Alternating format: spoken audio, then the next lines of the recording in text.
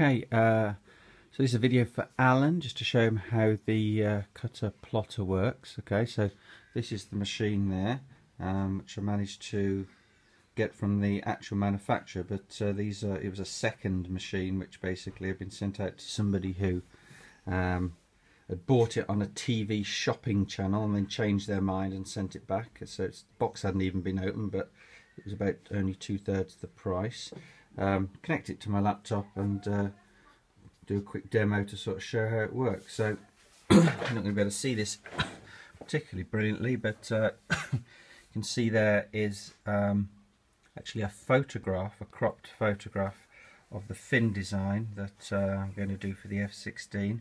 That's, um, oh, it's gone off, there we go. Um, that's uh, been stretched and pulled around um, because it wasn't quite dead at 90 degrees but stretched and pulled around to, to, to, match an outline which I then got from a drawing. So I know that proportionally it's all correct now. And uh, the if I turn the um, turn that layer off you can see I built up various layers which are going to form the mask. So first of all I've got a positive mask that I'm going to apply uh, which is the white area and then um, uh, spray the whole thing red.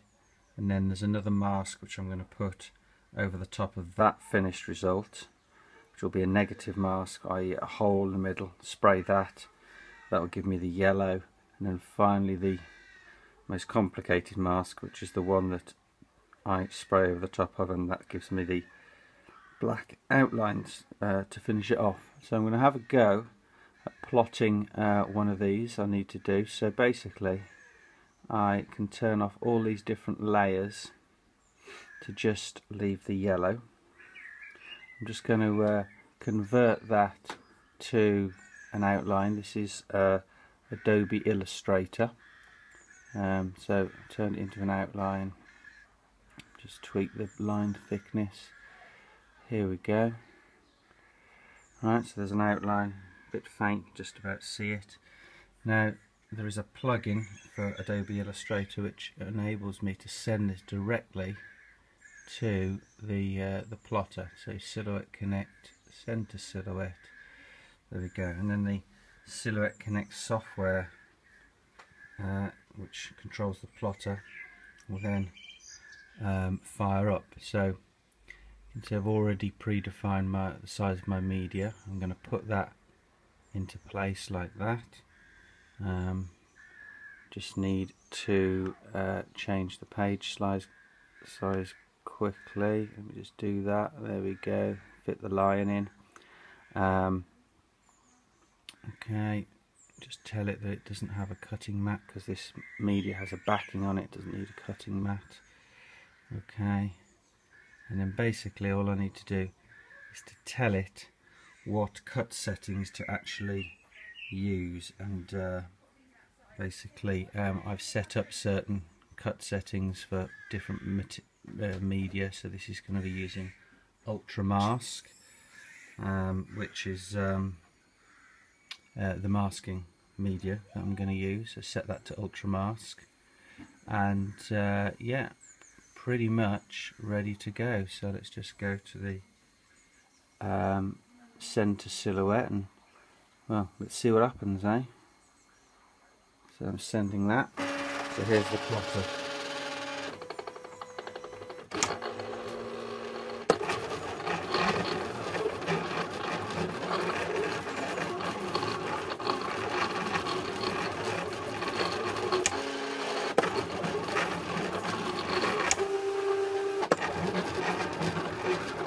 So this should be cutting out this line here to give me a uh, sort of a, a, negative mask so I'll peel the line out so that I can spray and, and get that shape. So this this this uh, media is specially made for airbrush masking. It's a type of semi-transparent vinyl that's got um, sort of fairly low tack adhesive on the back so you can um, you can peel it off easily without damaging any underlying paintwork plotter's got a tiny little knife in it, very sharp, protrudes probably only about a tenth of a millimetre from the housing. and, um, and it goes. It doesn't really take very long. This will be done in another 10 seconds or so, probably. I think it's nearly finished.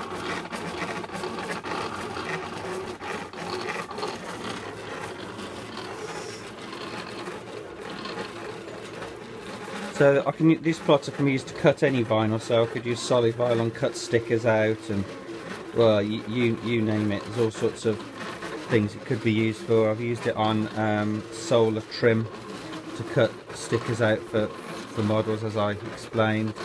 Um, but my main reason for buying it was for paint masks. Right. That appears to be done now. Can bet your life there's absolutely no way the video is going to pick up the cut lines on that but I can show you what happens. You then take the roll out and then you just have to what's known as weed it which means take off the bit that you don't want. So this was the uh, the mask for the other side of the fin that I did. So that was the uh, this one is the uh, the positive mask that I will put on when I spray red to leave that shape in white.